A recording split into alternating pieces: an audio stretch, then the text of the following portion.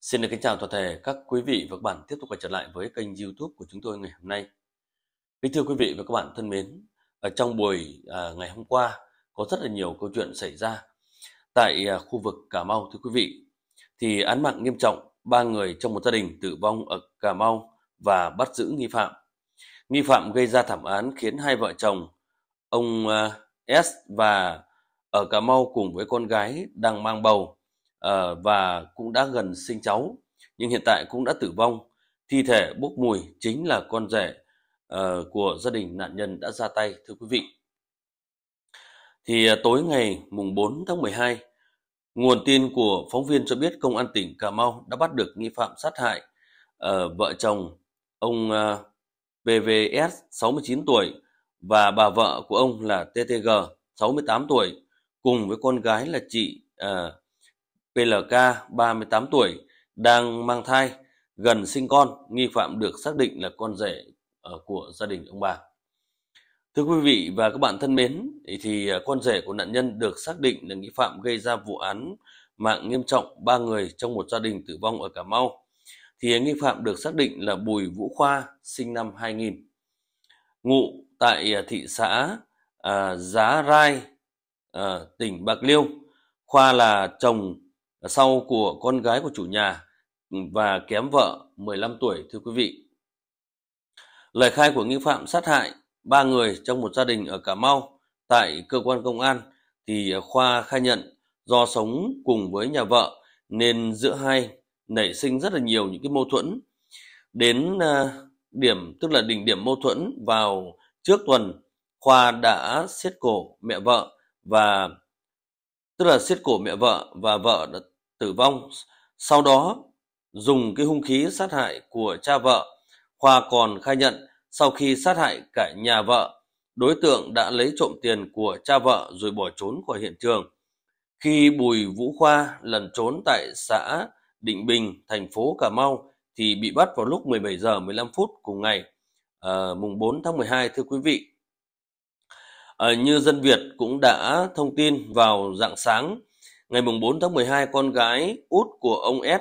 à, khi về thăm gia đình thấy nhà khóa cửa gọi mãi không có ai lên tiếng cả. Trong khi mùi tử thi bốc ra khắp nơi nên đã hô hoán cùng với người dân đã phá cửa xông vào. Phát hiện ông S và chị K đã tử vong tại phòng ngủ. À, riêng bà G được phát hiện uh, chết cách nhà khoảng 50 mét thưa quý vị sự việc được trình báo lên chính quyền địa phương, hàng chục cảnh sát thuộc công an tỉnh Cà Mau nhanh chóng có mặt tại hiện trường để điều tra cái nguyên nhân vụ việc, đồng thời truy bắt hung thủ gây ra vụ thảm án nói trên. Người dân địa phương cho biết nghi phạm là chồng sau của chị Ca, hai người uh, mới về sống cùng với gia đình của ông S thời gian gần đây. Vụ việc đang được cơ quan chức năng làm rõ trong thời điểm này. Thưa quý vị, đây là một trong những cái thông tin mà khiến cho tất cả chúng ta ai cũng cảm thấy dùng mình và ghê sợ. Tất cả mọi người dân khu vực đó khi biết được tin cũng đã tập trung đông đủ tại của gia đình ông S và bà G để uh, thực uh, hiện những cái công việc ờ, để uh, cho tất cả các cái cơ quan chức năng để lực lượng người ta vào khám xét sau đó khám nghiệm tử thi và sau đó sẽ lo hậu sự cho ông bà. Đây là một cái vụ việc mà khiến cho tất cả chúng ta ai cũng cảm thấy bàng hoàng và cảm thấy xót xa xúc động cho gia đình của ông bà uh, S. Thưa quý vị, uh, thì cái điều đặc biệt ở đây chúng ta cũng muốn nói rằng đó là cái cái cái mà vợ của uh, người tức là con gái của ông S đang mang bầu thì đầu tiên thì họ cũng nói rằng là chị ấy mang uh, song song sinh tức là song thai đó quý vị. Nhưng mà đã cũng được uh, xác định lại thì uh, chị chỉ à, mang bầu một cháu. Nhưng đây là một vụ việc khiến cho bốn người đã ra đi. Chị này thì cũng đã tới tháng sinh thưa quý vị nhưng mà rất là tiếc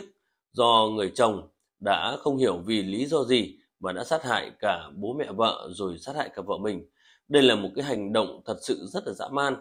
Thì cũng mong các cơ quan chức năng mong tất cả quý vị à, chúng ta hãy cùng đồng hành để lên tiếng để những cái vụ việc này sẽ không bao giờ à, sẽ không còn những cái vụ việc như thế này để xảy ra nữa. Những vụ án quá đau lòng sau những cái vụ ví dụ như là cái vụ vừa rồi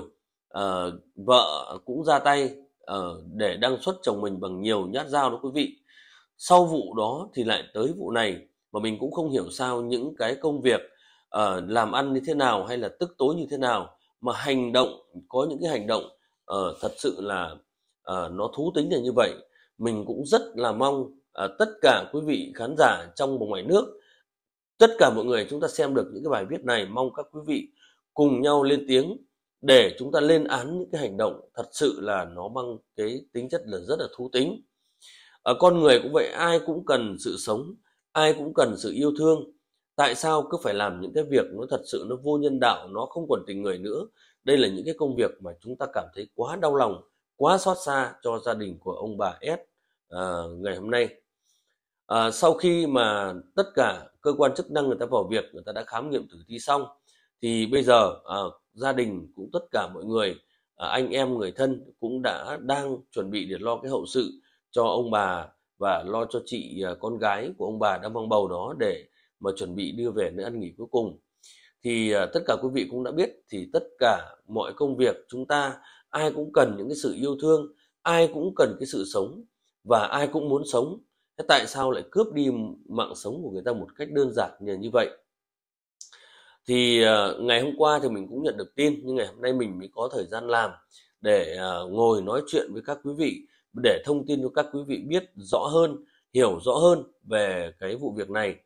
và mình cũng mong rằng sẽ cập nhật uh, rất là nhiều những cái tin tức mới nhất để gửi gắm đến các quý vị và các bạn. Và để có uh, cho các quý vị chúng ta cùng nhau lên tiếng để bảo vệ uh, tất cả những người thân bảo vệ những cái lẽ phải bảo vệ những cái lẽ đúng đúng không thưa quý vị? Ngày hôm nay thì thật sự là mình cũng cảm thấy rất là xót xa rất là nói tóm lại là mình cũng cảm thấy kinh sợ những cái vụ án như thế này. Vừa rồi cái vụ việc mà người vợ đang xuất người chồng bằng 38 nhát dao thì anh chồng cũng đã kịp thời kể lại tất cả mọi việc. Và người vợ cũng đã bị uh, bên công an người ta đã